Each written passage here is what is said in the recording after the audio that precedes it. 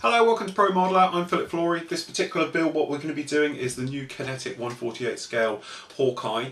Um, now this is the E2C version. Um, obviously there is other kits of this available. There's the Japanese Defence Force one um, and obviously there's the Hawkeye 2000. Basically the kits are all exactly the same. It's just a few little different sprues in there for the different things. Obviously before now all that we've had is a resin version of this one. Um, those that you know the site uh, will know that obviously I had a few problems building that one. Um, but obviously this is a nice new injection moulded kit quite a different aircraft to do. It's nice to see that Kinetic are uh, bringing out some obviously uh, models into you know not the normal, shall we say. So it's very nice of them.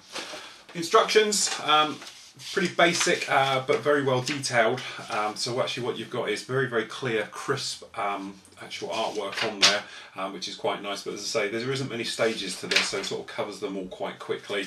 It's not a complicated aircraft to go together but certainly due to uh, a lot of the sub-assemblies joining up and things like that it's going to be well worth doing dry fitting with these uh, and just making sure everything lines up before you come along with glue uh, the markings, obviously we've got one um, for the Golden Eagles which is uh, VAW uh, 112 for the Navy version. This particular box that I've got here is actually the French box so it actually looks like this and it says it's got the flotilla markings here but actually does come with the American ones as well. So hopefully you'll get both sets of um, decal placement sheets that show the colour callouts which is pretty straightforward because it's just um, uh, FS uh, 16440 Federal Standard Codes, so pretty straightforward. The kit itself, um, it's going to be quite big, uh, as you can see, 148 scale aircraft, so we're talking this type of size.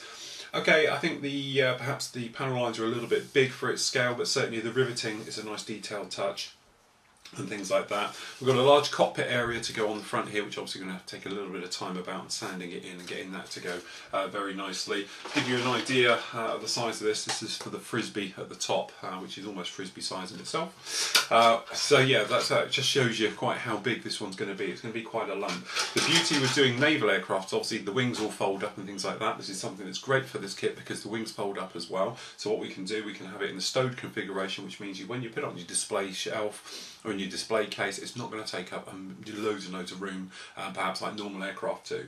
Looking forward to the build, so let's get on with it. Okay then, so we've got all the um, parts off the sprues we've actually got up. Now the instructions themselves are um, not exactly the best uh, and easiest one. There's pretty much uh, in here, how many steps we've got in total. Uh, 13 steps to complete the entire build, which isn't a massive amount when you go through the, the amount of complexities on this. Um, there's lots of exploded diagrams um, of various parts. Now, to tell you the truth, I've already built one of these. It's the second one I'm doing, so I've actually learnt a few things along the way. Uh, namely, that the actual uh, engine parts are extremely complex to get together and very hard to get right to all sit and be, you know, in the right place and not look um, a totally sort of skew whiff and out of place, and obviously without using a lot of filler. So that's really why I've come back and redoing this a second time round. Um, what we're going to do, we're going to really run through the build. Now, obviously, internally, we're not going to be able to see much inside the actual cockpit, although there are some nice little touches, as you can see in here. But the thing is, unless you're going to get in there and have a good old peek through the glass, you're not going to see much about it. So what we're going to do, we're going to do a, um, a basically a quick job on the cockpit, which will give us an overall effect, but really there is very little point detailing it, um, as I say, because you can't really see it. And what I can do then, I can focus on other areas which are problem areas, um, which are, for instance, um, I've already got one done here, which is these engine nauticals, which are a bit of a nightmare to get together. But I'll talk you through how I do mine now, um, which will hopefully give you, um, make it a lot easier ride and you won't get all the mistakes I had the first time round. So what we're going to do, we're going to roughly stick to the actual um, instructions, but we're going to deviate at a few little areas which I'll point out as we go along. So basically what I've done, um, I've got these cockpits all off of the sprue already. It's pretty much straightforward. You've actually got um, obviously a rear bulkhead for the cockpit. You can see here, there's no detail on that whatsoever. You've got the tub, if you like, if you want to call it that, or of the flight deck. Um, Pre-molded, um, put in the actual um, uh, what you call them, rudder pedals, that's the word. Um, and obviously the instrument detailing there again isn't over the top. There is some nice little details there, but it's nothing, you know, you'd really get excited about. So we're not going to worry too much about those. What we have got though um, is the seats, which there again are a bit boring, a bit plain. Um, we can add some harnesses to those. I'm going to do some simple little harnesses for those, which are actually put in. And obviously we've got a center console. This top one here is going to go at the top face down. You'll never see that, um, but there again, it's there. It's a nice little touch. The yokes, flight yokes, very, very basic, um, but there again, they're there. It will give you an overall um, detail effect of them. If we get some light in there. So what I'm going to do with this one, I'm going to put it all together and then we're going to go around there and pick out all the details by hand. As I said, if I was going to go in and I wanted it to be absolutely perfect, I'll go along obviously and I would take care and obviously we'd add little bits of wiring perhaps and we'd do all the switches individually, but we're not going to see it because it's not an open cockpit like perhaps on an F-16 and things like that. Now if I just bring another light in, get some more light around here. One second. This one to stay, I'll be very happy. There we go. Um, so there we go. What we're going to do then, Tamiya liquid cement. As I say, you could use any glue you like, but I just tend to do these really for speed. Now what we do, we're just putting, obviously as you can see on the close-up, just around these areas. This is just to fit the seats in. We'll get them in first. Okay, and they're straightforward fit in. Nothing too exciting about that. Okay, we're just going to put a drop down each of the insides. There we've got the centre console. Same thing again, what we'll do, we'll just pop this straight in, just sits down there and we're just going to put a drop. And it's the great thing we're using extra thin glue. The capillary reaction goes off and whips around and does all the work for you. So you don't have to worry too much about those. Okay, the actual uh, instrument panel itself we'll put on afterwards because I'm going to dry brush it um, to give it a little bit of life and everything else. And I've just noticed that I've got a little bit of sprue peg still sticking up so we'll just take care of that now. Just like that. But what we do is say we'll fix that on afterwards. What we can put on now is the rear bulkhead. As I say, um, it's got ejector pin marks all over it on one side, so obviously be careful with those. We'll just pop that in and we'll just glue that there again from the rear. So that goes in just like that.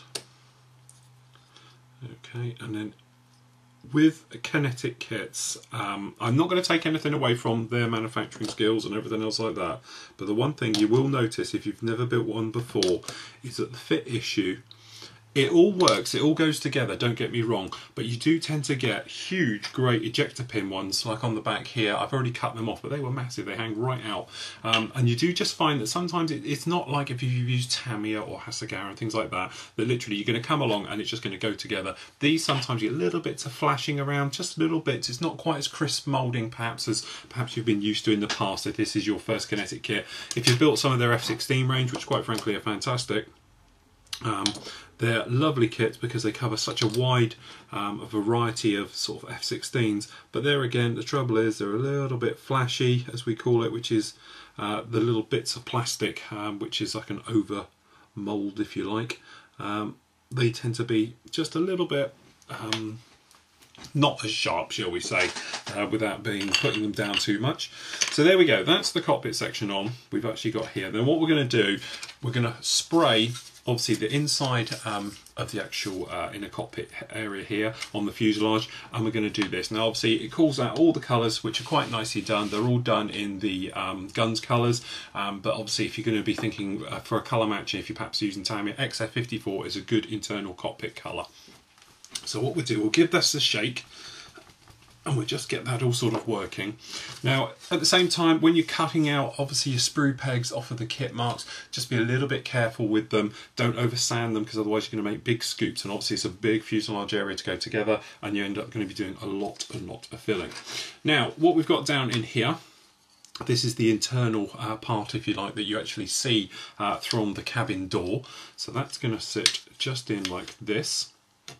There again, you can spray it outward or inward, whichever way you want to do it. Um, obviously, it's got some details in here. Look at your references to see what they're like, or you could just do a general sort of dry brushing job over the top to pick out the lines and hoses. Because if you look at the way it goes on the close up, um, it's quite hard to see uh, bits going on in there. It's also going to be quite hard to paint in there as well. So what we'll do, we're going to spray that as a separate on here, and then we'll glue it on afterwards and things like that. So what we'll do, we'll just get some paint knocked up in the airbrush and then we okay, so what we've got, these parts basically dry now. And all we've done, we put a little bit of modelling clay, um, or white tack as we call it here in the UK, uh, on the back of the smaller parts just so we can stick them in some things like this and just keep them off the ground. It makes them easier to handle. Right, okay. Airbrush is set to 30 psi. We've got just some XF54, um, which is, as I said, it's basically a colour match for um, the internal cockpit areas of most US modern aircraft. So what we're going to do, we've just got some Tamiya X20A thinners, which is obviously Tamiya's own thinners. Just a pipette. So we just grab a pipette, just going to put a little bit in there, and then obviously a 50-50 mix with paint.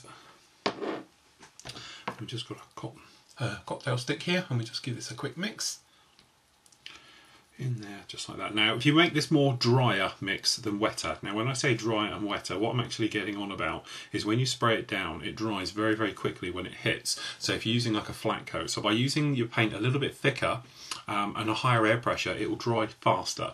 Um, it doesn't have to be particularly glamorous this bit of work and it doesn't have to be very neat.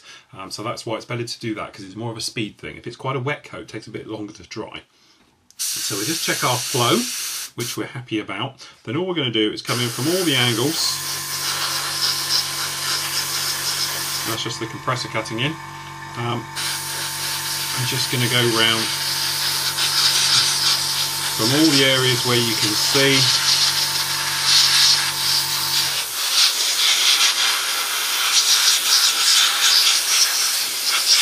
So it's like a bit of a dusty coat going on and then what we do, we pick out the detail afterwards. But as you can see, um, how well you can pick up in the close-up, it's dry already um, from spraying it in. So what we do, we just do the boarding area.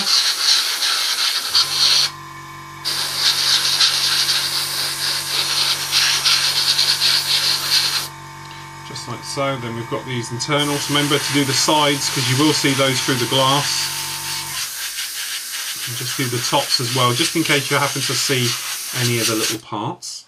So we do that, and obviously we've got the black work, the instrument panel, obviously the back of it is all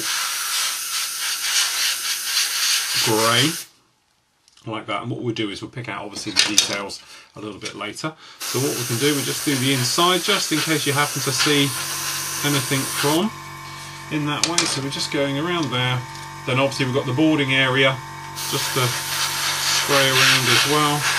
Make sure that's all happy. And the same thing around that cockpit. Bit just like that. So we're all happy with how those are. So all we've got is just got a little bit of the paint left over. We'll just tip that in the colour cup. Just like that. We'll just put that in the cleaning station. I'll get on and clean that in a moment and then what we can do is pop the lid on, keep that all neat.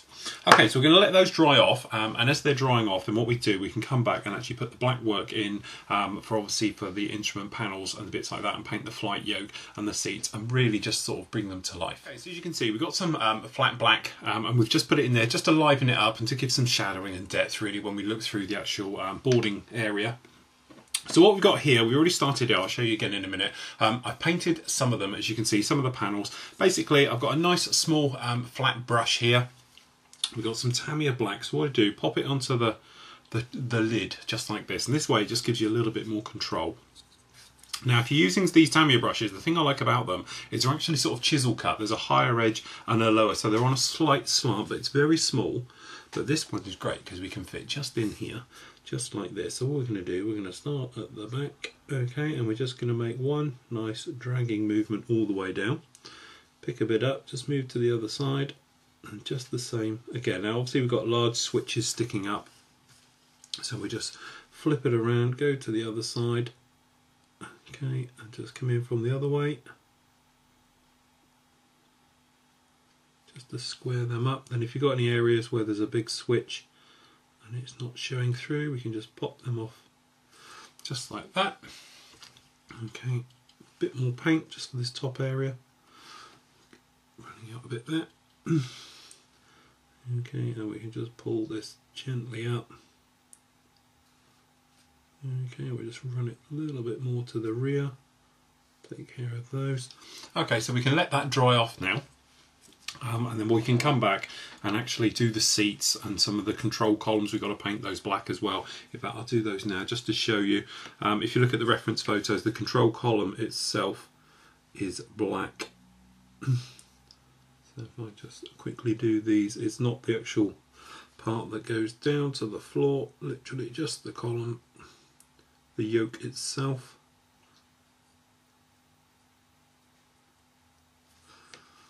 There we go. So those are done just like that. You might be able to see that on the close up. There we go. So we can do the seats. We'll do those in a minute. But what I want to show you here is some of the dry brushing. Now, obviously, the panel itself, um, when you look at the reference photos of them, this is what we call the Legacy um, Hawkeye or the C. There's a new D coming out, um, and there's the Hawkeye 2000, which is the one in the middle. This is the older version, which has got all the analog um, instruments, or dials, in other words. Okay, so what we're going to do is just knock off most of the black work off of here. Then all we're going to do is just gently, uh, well you can see if I bring you in a little bit closer, okay, then what we do, we're just going to gently, continuously dry brushing and you should be able to start to see the instruments coming to life. Just like that, so we're just continuously painting, and there we go, you can see them coming up just like that. So we'll just move around here at the top. Now if you wanted to, you there's various options you could um, obviously fill in these dials and that, but there again, unfortunately, we are hardly going to see them. And I've got some uh, a reference photo uh, just here, um, which if I just bring up, you can see here, which shows obviously this top area being blank, um, and then obviously um, the other bits all being picked out in various colours. So if you wanted to, you could use this reference photo to sort of give you an idea of where various parts are. But just for the moment, we're just going to do the top. like this one, these side bits appear to be black, looking at that reference photo, and then obviously we're just going to make an edge underneath. Just like that. And then we're going to go right from the other side. Okay up there. So that gives us our instrument panel, very, very basic. But what we can do, we can pop around with a little bit of um, silver in a minute just to liven it up. So what we do, we're just keeping the brush nice and flat. We can just liven it all up a little bit. But there we go, that does it quite a nice one. It's not a million miles off of the real thing, but you say if you wanted to, you could pick out the centre of the dials with some colours and things like that. But unfortunately, as we said before, we're really not going to see it. Now the seats themselves, um, they're a nice sort of green beigey colour. So what we do, they're very quite a dark sort of uh, greeny colour. So what we're going to do, um, just doing this off the top of my head, we're going to use olive green. There again, good old shake with the olive green. we just bring you out a little bit on this one. Okay, now, I haven't used these colours recently. I'm not going to worry about cleaning out the brush. We're just going to get straight in there. Just get some olive green. Very straightforward. Then as you can see, there's various lines you can follow around as you go. But we're just going to, for argument's sake, doing it across. Now, if you're worried about hand painting acrylics, the best way to do it, get a load on your brush, put it on and literally pull it round. Don't try and brush stroke them in. If you pull it round you get a nice uh, finish to it. Whereas say if you're pulling them around you do tend to get brush marks in it, things like that. So we just do the backs. Okay, just down in the cushiony area. Just across, just down on this other one. Okay, headrests, make sure you get the sides, the tops obviously the fronts just like so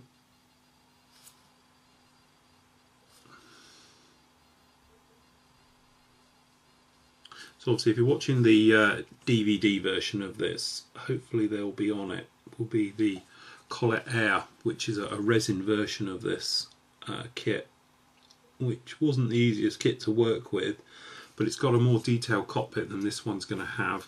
So if you wanted to look at your references, you can have a quick look at those.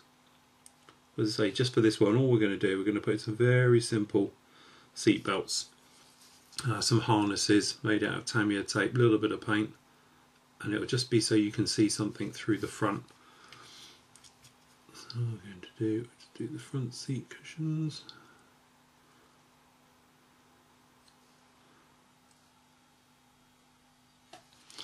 And there we go. Quick little job on there. We're going to pop around with some silver when that's dried and get the, the seat cushions put in, um, the seat belts on there and the harnesses and things like that. But say really that was just a, a quick little clean up if you like uh, of doing that. So what we do, just clean that brush out here. So there we go, we just move those out.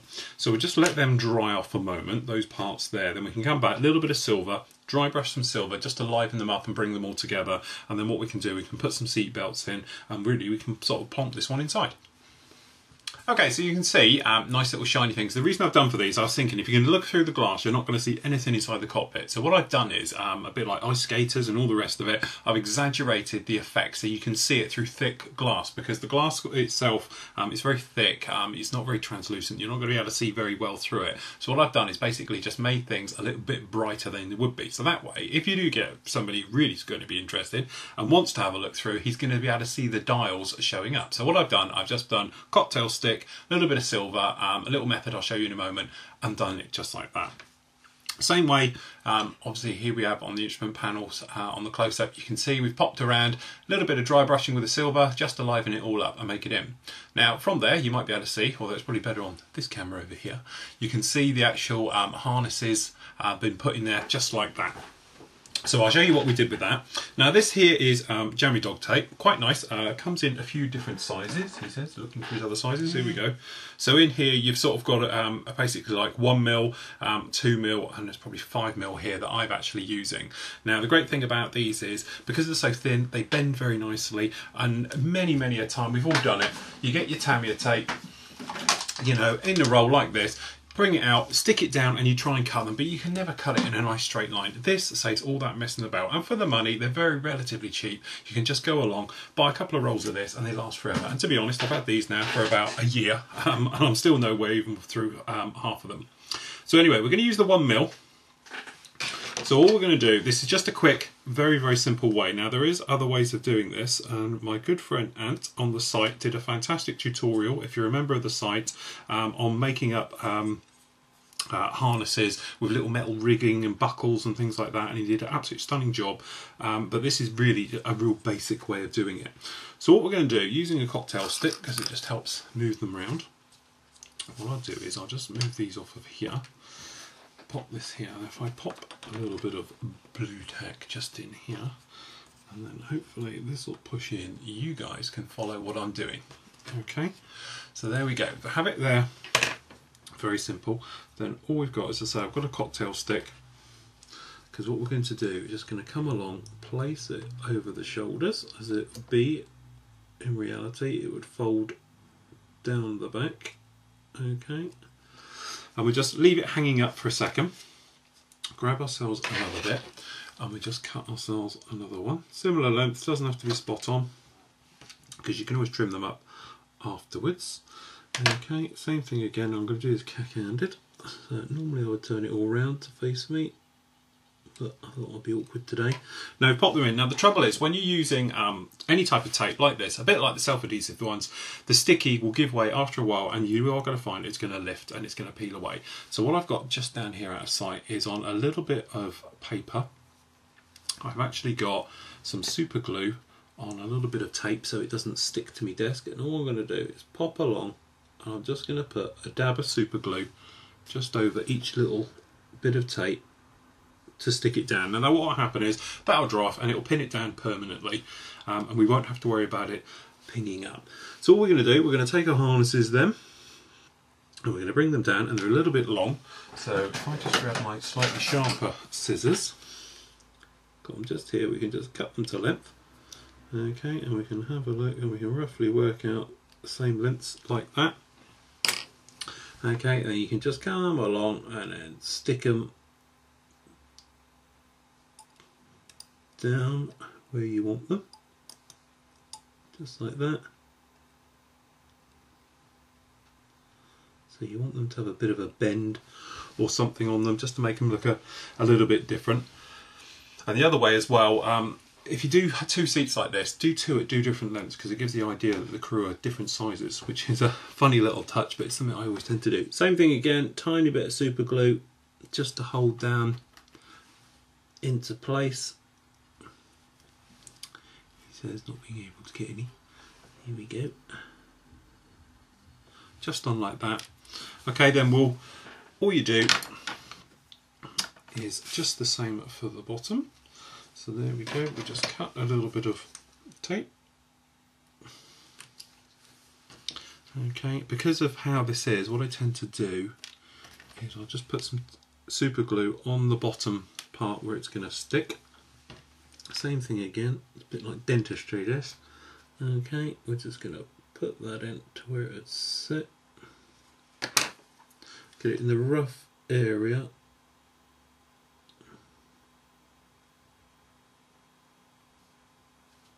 where we want it to be. We'll just let that stick a second. Okay, same on the other side.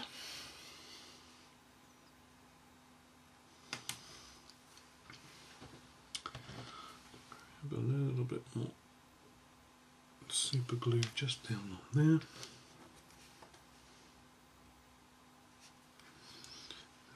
To do just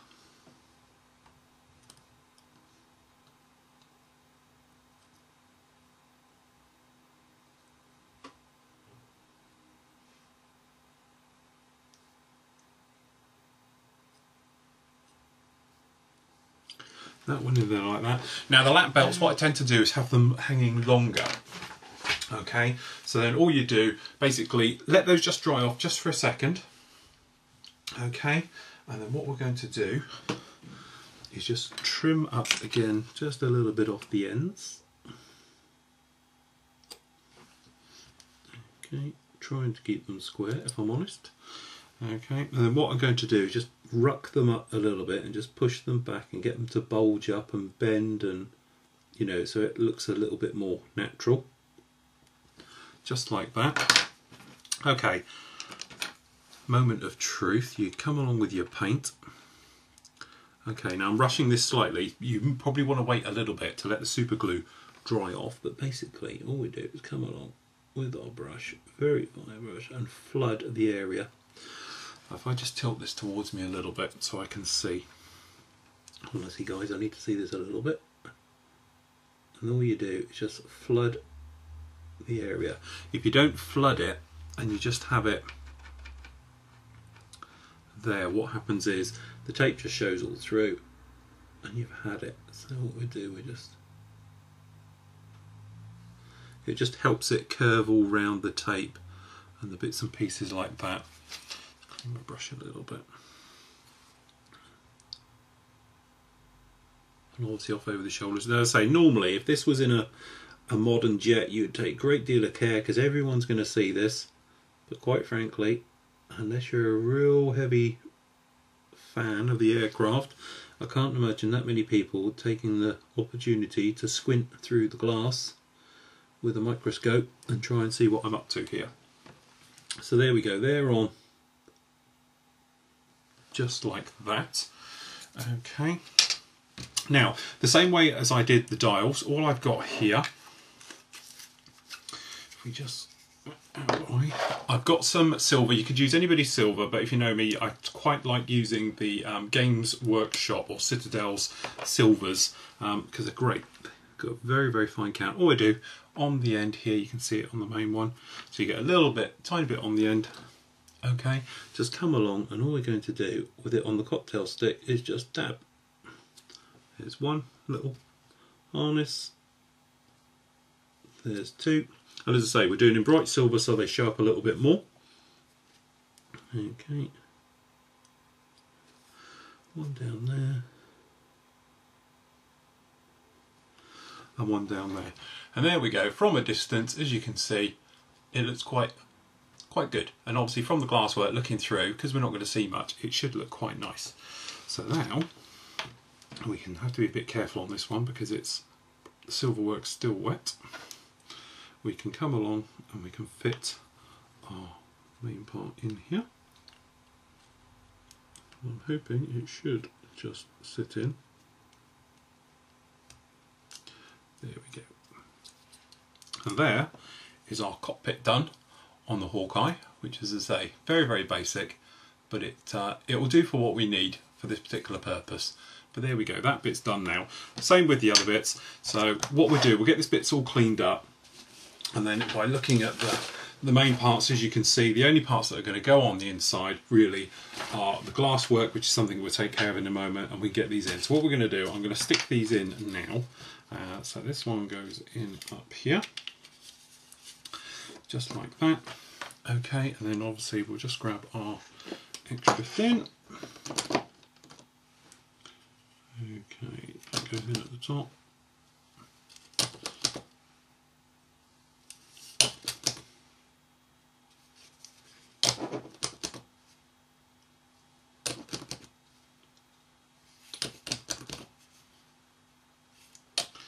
There we go, that's in. So when we look in from this way, you can see on the close up, it gives us our impression that there's lots going on in there, um, even though there really isn't.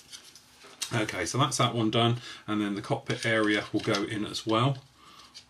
So that's just going to fit in something like this, which is in there. But what we're going to do is paint up by hand just this area at the front here black, just to cater that. I'm going to have to get some weight in the front here.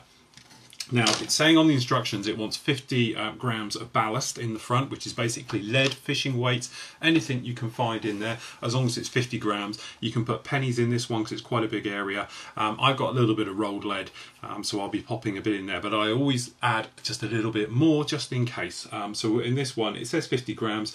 It probably sounds about right. Uh, but just to be sure, I'm going to stick 60 grams right in the front here um, to take care of that.